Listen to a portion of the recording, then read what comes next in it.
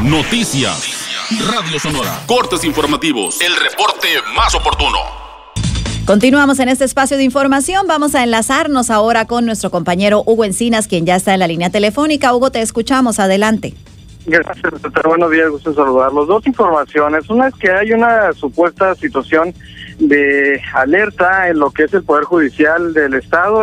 el Supremo Tribunal de Justicia se ha procedido a desalojar a todas las personas porque sonó una alarma al interior del inmueble. Está trabajando gente de protección civil, ya les informaremos al respecto. Y en una entrevista previa con el Contralor del Estado, secretario de la Contraloría, dijo que hay que reconstruir la confianza tan deteriorada de los sonorenses por la administración pasada que dejó al gobierno y a las instancias en el fondo de la crisis es lo que dice Miguel Ángel Morillo, señala que el gobierno del Estado, la gobernadora Pablo Vich ha logrado avances importantes en esta materia, como el reconocimiento nacional que recibió el portal Tu MX por innovación a la transparencia 2016, el cual consideró es un ejemplo en todo el país y que ha logrado y que ha logrado ya eh, establecer en coordinación con todos los contralores del país en ese tema. Es la información que tengo al respecto.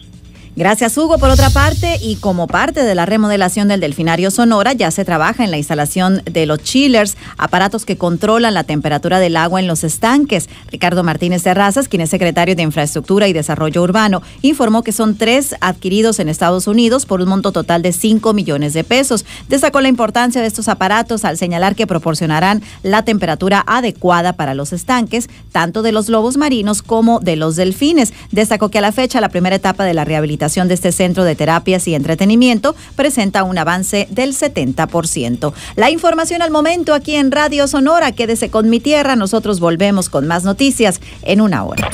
Noticias. Radio Sonora. Cortes informativos. El reporte más oportuno.